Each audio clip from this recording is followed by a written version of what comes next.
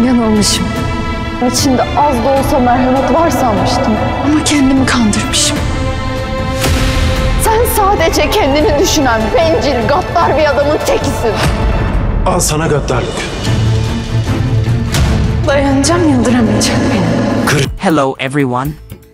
The latest episode of Winds of Love once again left us breathless. While Halil quietly harbors his love for Zeynep, Orhan openly expresses his affection for her, making it clear to everyone. Orhan frequently compliments Zeynep, attempting to win her over while also aiming to undermine Halil. He's practically declared war on Halil. Orhan suggests Zeynep quit her job as a maid and work with him.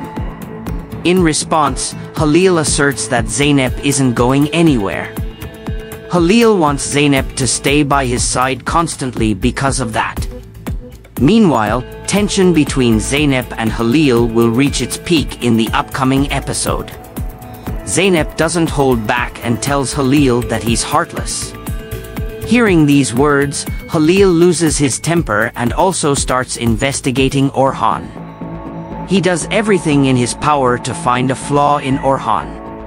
While eagerly awaiting the new episode, feel free to share your thoughts about it with us. Don't forget to subscribe to our channel and turn on notifications to stay updated with new videos. We love you all. See you in the next videos.